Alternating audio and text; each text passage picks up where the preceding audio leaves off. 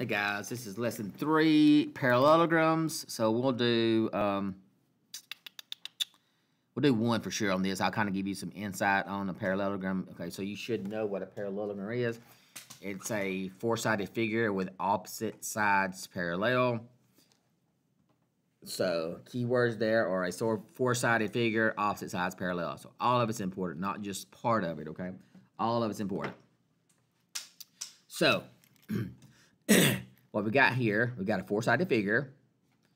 Now, these sides are parallel, but are these sides parallel? No, because what's going to happen is eventually they're going to meet, okay?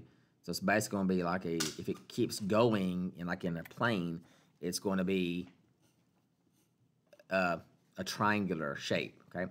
So that's not a parallelogram, okay? now, let's look at B. Is it a four-sided figure with opposite sides parallel?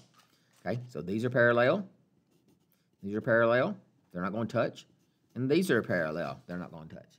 Now, it doesn't say that this side, this side can't touch. What it has is opposite sides are parallel. So if this kept on going, boom, boom, going never going to touch.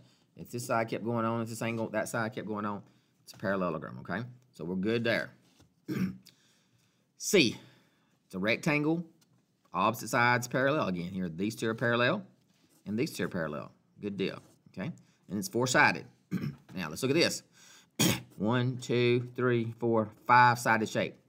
By definition, is not a four-sided shape, so by default, is not a parallelogram. Okay. Four-sided shape, opposite sides parallel. One, two, three. We know by looking at this, it's a triangle.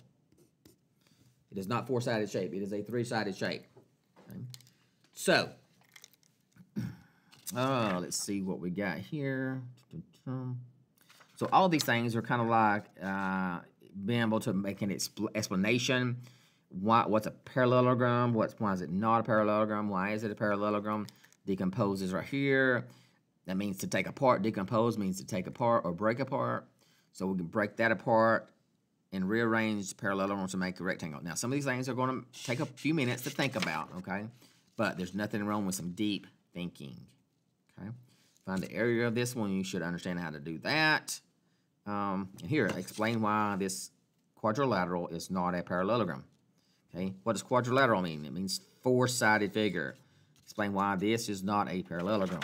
Okay, so that'll get you started on lesson three. Any questions, make sure you bring your work to group. Also today, make sure you bring lesson two reasoning to find area from yesterday, Monday. Make sure you bring that to small group so we can go over that, okay?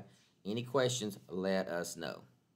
Also, make sure you're getting these exit tickets to me. I think we've got a few that's maybe behind a little bit, and you know we need to get caught up on those, okay?